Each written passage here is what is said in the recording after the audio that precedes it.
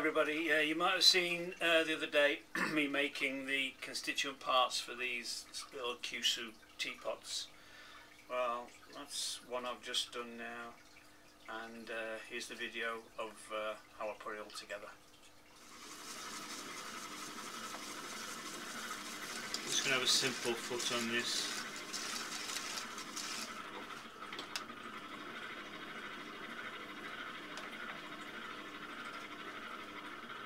be conscious of making it not too narrow this foot ring obviously because it's going to have um, hot liquid in it, you don't want it toppling over. It's a firm base, so I'm making it slightly wider than I would a small moon jar.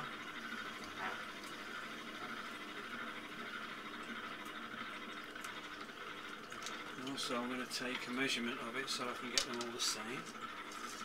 So that's the same as slightly wider than the opening at the top.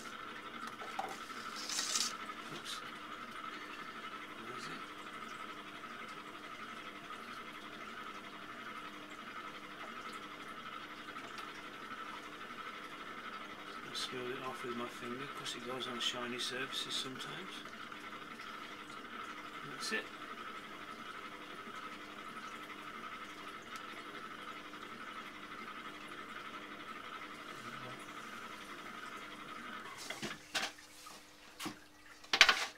That's the foot Okay, now I've got the um, the constituent parts of the the teapot. That fits okay. These dry at slightly different rates so you have to be uh, aware of the shrinkage but that one's fine. The teapot spout's going to go on there so I'll just have to cut it now. I'm trying to do this in a position where you can actually see it so I use a wire to cut it. If you try and cut it with a knife I can never get it even so. Start at the top.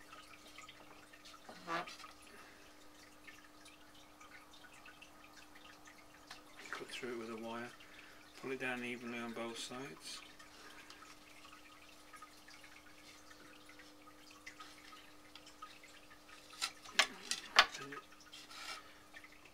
Right, that's the spout cut off. It's a bit uneven, but I'm going to use a knife and just trim the inside there, make it a little thinner. Also, just cut this end off.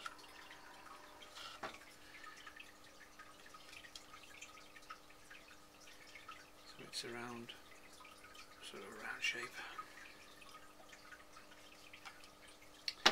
Oops.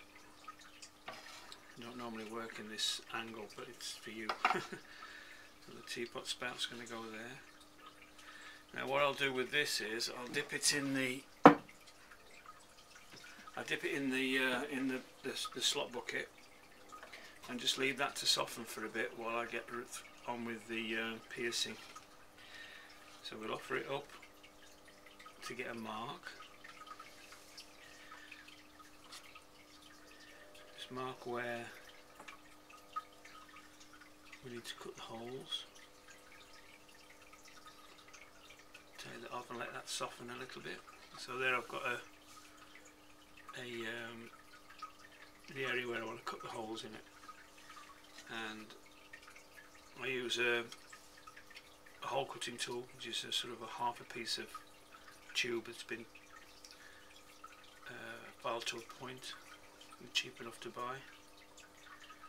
I'll start in the centre and I'll try and keep an e as even a, as even a, a um, a pattern as I can because it's visible from the inside obviously and it's nice to work neatly if you can.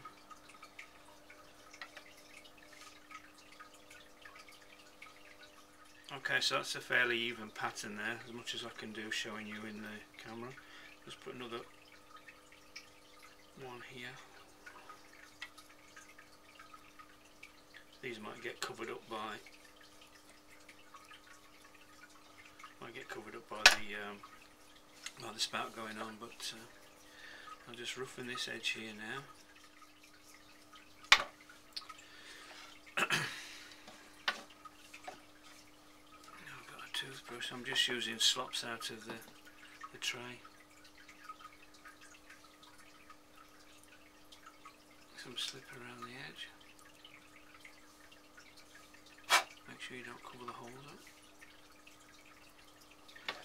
Now this has softened up a little bit now, so oops.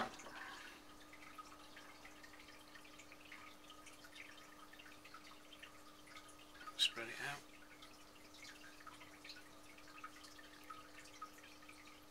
Offer it up and make sure that it's straight. Press it on and because that's softer now, you can see how softer that is now than the, the rest of the body. It'll just smooth into the body. It shot.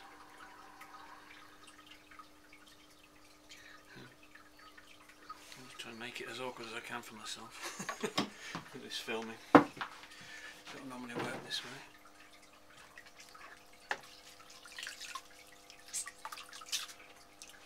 Oh!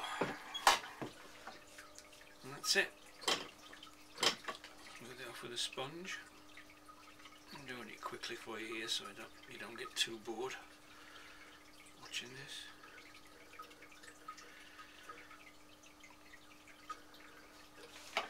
And there's the teapot spout on the lid. I just need to put the side handle on now. Now what I've done with the side handles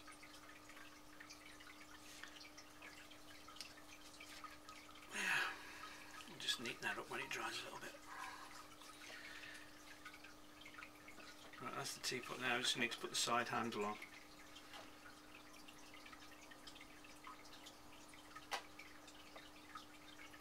I'll just get that for you now.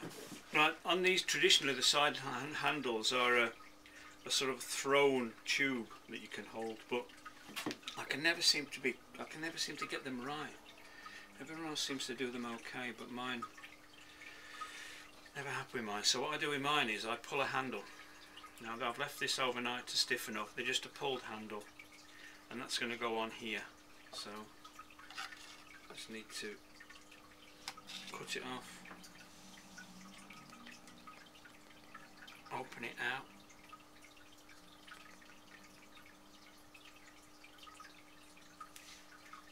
score it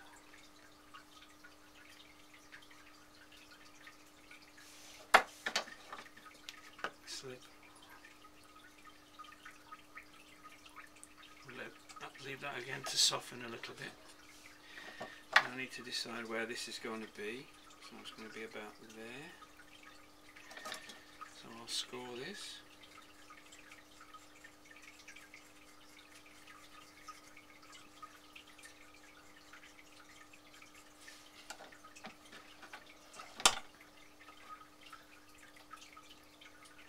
More slip.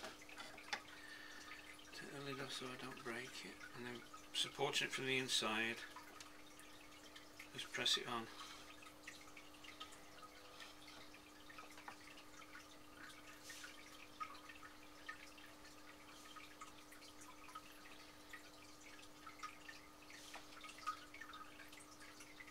obviously if this was a if this was a rounded teapot handle I would pull this a little bit more and curve it down but as I want it to stand out I'm going to leave it like that and I can attach it when it's a little bit firmer. And then oops.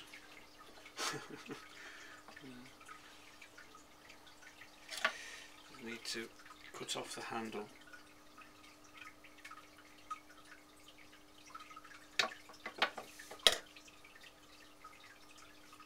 what I'll do is I'll uh, position this on a board so that's supported so it doesn't sag because it will sag in a minute when I leave it to dry. So that will stay like that. There's the the lid on it. And all I need to do now is put the air hole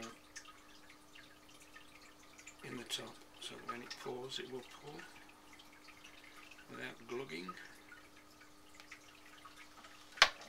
that's it finished.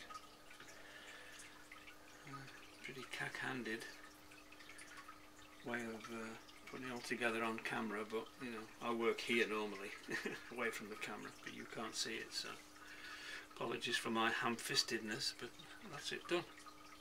Kyusu teapot with a wave cut lid. Right, that's it. Uh, hope you enjoyed that. Uh, it's, I hope it was informative. It's a bit wobbly in places because I'm trying to sort of do it for the camera rather than just for myself. I normally work quite close to me, but you can't see that. So uh, I hope that was okay. And uh, see you next time.